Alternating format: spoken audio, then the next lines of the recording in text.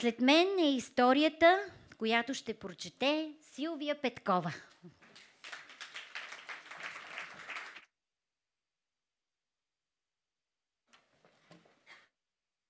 И ден на Европа, и от мен. А, направо ме заболя сърцето, след като чух това нещо. Много се радвам, че моят мъж не е от някое българско село. А, аз ще ви прочета една история за Европа, която я е написала Йоана Мирчева, най-прекрасна, талантлива на света. А, никога няма да забравя първото си голямо пътуване извън България. Беше преди около 10 години, бях на 19 и още с втората си заплата реших, че е време да отида някъде по-далече от най-северните части на Гърция. Тогава все още не се бях оттракала да пътувам по-авантюристично и се включих прилежно към една училищна екскурзия с класа на по-малката ми братовчетка гимназистка, чиято крайна точка беше Париж. Да, точно така, Париж. Сега, представете си. Автобус, пълен с ученици, майки, сестри, роднини, като мен всичките налазили пътешествието, което минаваше, освен това, през Германия и Австрия и си викам, е, това е. Три държави с един изстрел. Така, това, което ми обягваше тогава, разбира се, е, че с такъв тип пътувания просто няма как да се шляеш по улиците. Има изключително стриктна програма. Кои забележителности да видиш, колко време да претяга, прекараш на тях и в мига, в който започне да се свечерява, автобусът те връща в хотела, който обикновено е на час и половина от центъра. Всъщност, час и половина от центъра. Всичките, аз, майките орлици, сестрите, почнахме да протестираме в един глас, че ние всъщност искаме да видим прословутата Айфелова кула, светната аджеба, обаче наложи се да се примирим с дневната и версия. Целият Париж ми е мъгла. Мъгла. Единствените ми спомени са нещо като някакви откъслечни картини, кадри от филми. Нямаше селфита, чекирания, тиндър за готини парижани наоколо.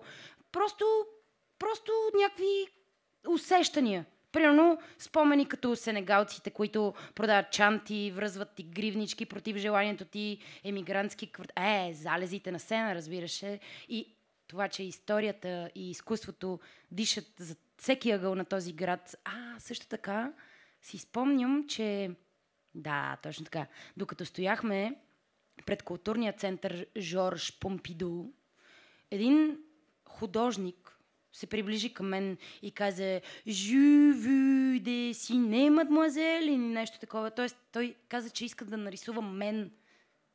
Искрено се развълнувах. Аз бях муза в този момент. Започнах да позирам с усмивка, без усмивка, профил, не профил. Братовчетка ми замрънка, че нея никой не иска да я увековечи. След това, разбира се, се оказа, че пича рисува карикатури.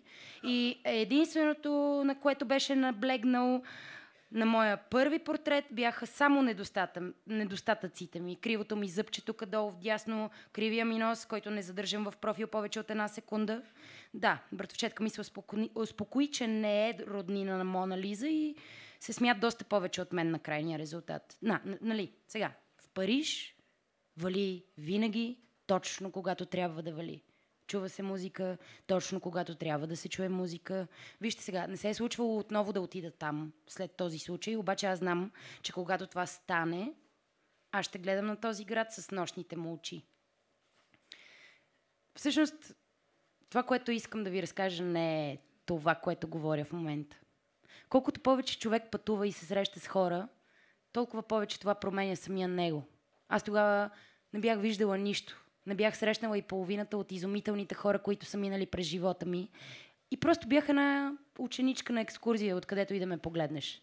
Докато на връщане от Париж, Виена, Мюнхен, не се забихме за няколко часа в един хубав, спокоен и много скучен на пръв поглед град. Хайделберг, Германия. Студентско градче, приятен централен площад и нищо особено. Нищо. Стоя си сама на един фонтан, чакам ученичките да излязат от поредния магазин. Вече даже съм се настроила да се прибирам в България и всъщност изобщо не съм убедена какво съм запомнила от тая екскурзия най-ярко. Всъщност истината е, че най-яркото беше на път да се случи. Една двойка, мъж и жена на около 40 години, стоят на фонтана до мен, пиват си немска бира, говорят си нещо на вечно непонятния за мен немски език, вас мах ду, и по едно време започват да ме гледат. Сега аз, разбира се, си мисля, имам петно или нещо, не знам какво. Не знам какво. В един момент приближават се към мен и почват да говорят с мен. И ми казват, че имам супер готин стил, че имам най-страхотните кецове, които са виждали. Аз та, та, усмихвам се, на... казвам им, че съм си ги взела току-що от Париж. Те започват да ми говорят и за Париж. Питат ме, видяла ли съм това, видяла ли съм това. Аз разбирам, че те пътуват по съвсем неучебникарски начин, като мен. Оказват се пътешественици. Били са къде ли не и ми дават куп съвети, къде да отида, какво да правя, когато тръгна на път отново. И точно там, на този фонтан, сред тази блаженна следобедна скука, аз всъщност разбрах какво означава Европа. Тази отвореност на хората, да заговорят когато си поискат, да бъдат уважителни, но и приятелски настроени, без да се натрапват и без това да е странно. В този момент делегацията се връщ, върна от магазина и трябваше моментално да тръгвам. Обаче двойката си каза набързо нещо на немски и жената започна да роби в раницата си. Подариха ми едно малко дървено слонче, донесено от скорошното им пътуване в Индия. Бях наистина развълнувана. Те ми го дадоха като талисман. Е така за късмет. Поздравиха ме и продължиха все така спокойно да си пиват бирата. Ей, това слонче все още седи на видно място вкъщи и ми напомня колко неща за мен все още не са видени. Европа. Това са хората. Това е тяхната лекота на общуването. Това, че София и България са част от Европа, се потвърждава именно с факта, че вече и тук все повече млади и пътуващи хора знаят, че не е страшно просто да разговаряш с някой непознат.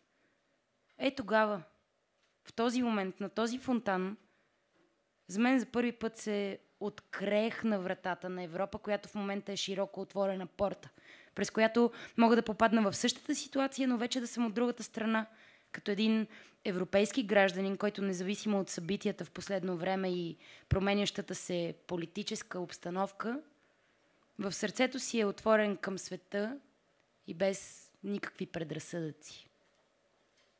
Йоана Мирчева, аплодисменти за нея. Още веднъж честит празник. Благодаря, че бях поканена да чета на тази жестока инициатива, която дава, как да го кажа, поле за изява и простор за напредване на млади автори и любители на писането. Fire.